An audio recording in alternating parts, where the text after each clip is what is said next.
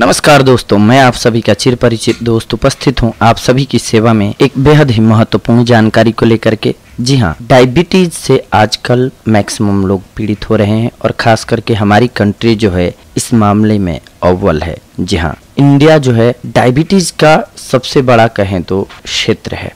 पूरे विश्व में सबसे ज़्यादा परसेंटेज है कहीं पर अगर डायबिटीज़ की तो वह इंडिया में है। और इसका रीज़न है, हमारा सही खान पान न होना, सही ढंग से अपनी दिनचर्या का पालन नहीं करना। डायबिटीज़ ये तो खुद ही आप जानते हैं कि बहुत ही खतरनाक बीमारी है। ये अपने आप में कई बीमारियों का घर है। अगर आपको डायबिटीज़ हो जाती है तो आप बहुत सारी बीमारियों से वैसे ही घिर जाते हैं। जैसे कि बैड कोलेस्ट्रॉल का होना आपकी बॉडी में, इसके अलावा हार्ट की प्रॉब्लम होना आपको, यानी कि आपको हार्ट अटैक भी आ सकता है। हार्ट की प्रॉब्लम होने लगती है। इसके अलावा ब्रेन हेमरेज जैसे बहुत सारे प्रॉब्लम्स आपको क्रिएट होने लग जाती हैं धीरे धीरे समय के साथ। इसीलिए डायबिटीज़ होने से पहले कंट्रोल करें। तो सबसे अच्छा है कि अगर उसको हम होने ही ना दें, कुछ एक बातों का ख्याल रखेंगे तो आपको डायबिटीज़ नहीं होगा। नियमित रूप से व्यायाम करें खान पान को संतुलित मात्रा में लें, अत्यधिक मीठे का सेवन, खास करके चीनी का शुगर का। जो व्हाइट शुगर होता है, इसका सेवन बहुत ज़्यादा मात्रा में न करें, इसकी जगह पे गुड़ का सेवन करें तो वो ज़्यादा बेहतर होता है। या फिर शहद का, शहद में भी ध्यान रखें कि मिलावटी अभी ज़्यादातर मिलता है बाज़ार में।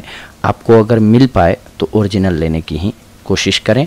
और सबसे अच्छा है कि आप बैलेंस रखें खाने में, न अत्यधिक मीठा खाएँ और न ही अत्यधिक तीखा खाएँ। बैलेंस होना बहुत ज़रूरी है। डायबिटीज़ अगर किसी को हो ही जाए तो वो क्या करें? क्योंकि है मैक्सिमम लोगों को हो चुका है। तो इसके लिए सबसे अच्छा क्या तरीका हो सकता है, जिससे हम डायबिटीज़ को कंट्रोल कर सकते हैं? एक तो आपको डॉक्टर को जो आपने दिखा रखा है इंसुलिन चल रहा होगा आपका, उसको चलने दीजिए, उन दवाओं को चलने दीजिए। इसके साथ साथ आप एक देशी औषधि हम बता रहे हैं, जिसका प्रयोग कीजिए, आपकी डायबिटीज़ धीरे धीरे नेचुरली ढंग से कंट्रोल होने लग जाएगी और कंट्रोल हो जाएगी। अगर आप नियमितता रखते हैं तो पेशेंस रखना होगा आपको, क्योंकि होममेड रेमेडीज़ जो भी होती हैं, उनको अपना असर दिखाने में थोड़ा वक्त लगता है। इसीलिए पेशेंस रख के आपको नियमित रूप से फॉलो करना होगा। इसी के साथ साथ आपको केवल औषधि लेने से कुछ नहीं होना है, आप अपने खान पान को भी कंट्रोल कर लें, क्योंकि आपको प्रॉब्लम हुई है डायबिटीज़ हुई है तो ज़रूर आपकी दिनचर्या में, आपके खान पान में कुछ ना कुछ तो प्रॉब्लम है, जिसकी वजह से डायबिटीज़ हुई है। उसको सबसे पहले पकड़ के, यानी कि उस रीजन को जान के और उसको ख़त्म करना बहुत ज़रूरी है।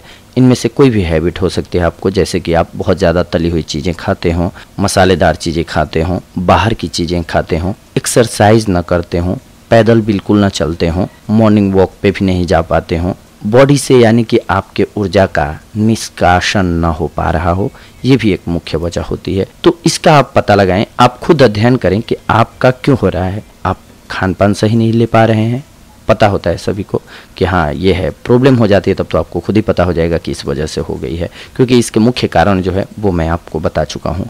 इसको सबसे पहले आप बंद कर दीजिए। अगर आप बहुत ज़्यादा बाहर खाना खाते हैं तो वो बंद कर दीजिए।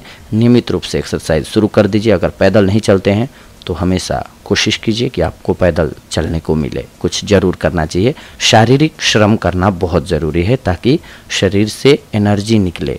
और पसीने के रूप में गंदगी भी बाहर निकले उसी के साथ साथ शरीर से, ताकि आप स्वस्थ रहें। इसके बावजूद किसी को अगर हो गया है डायबिटीज़ तो उन्हें एक हमारे देश में मिलने वाला फूल है, बहुत ही अच्छा गड़हुल का फूल।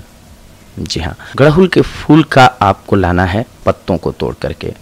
गड़हुल के फूल के पत्तियों को आप तोड़ करके लेके आइए, उनको ग्राइंड कर लीजिए, यानी कि पीस लीजिए। पीसने के बाद आपको क्या करना है, शाम को जब सोने जा रहे हों, उस वक्त एक गिलास पानी में सात आठ पत्तियों के उस जूस को, रस को, पेस्ट को आप गिलास में डाल के छोड़ दीजिए, एक गिलास पानी में ढक दीजिए अगली सुबह जब जगिए तो उसको पी जाइए, खाली पेट आपको पीना है और ध्यान रखना है कि वो औषधि पीने के बाद आपको एक घंटे तक कुछ भी खाना या पीना नहीं है, ताकि वो औषधि आपके शरीर पर सही ढंग से कार्य कर पाए, ताकि आप स्वस्थ हो जाएँ।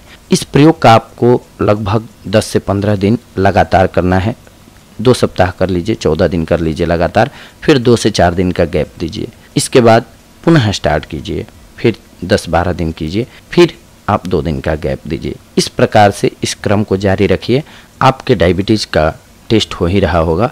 तो आप देखेंगे कि आपका डायबिटीज़ जो है वो कंट्रोल में आने लग गया। धीरे धीरे कंट्रोल भी हो जाएगा। अगर आप नियमित रूप से इस औषधि का प्रयोग करते रहते हैं तो तो ये थी आज की हमारी जानकारी आप सभी के लिए। अगले एपिसोड में हम आप सभी के साथ जुड़ेंगे। एक और बेहद ही महत्वपूर्ण जानकारी को लेकर के, तब तक के लिए धन्यवाद। नमस्कार दोस्तों।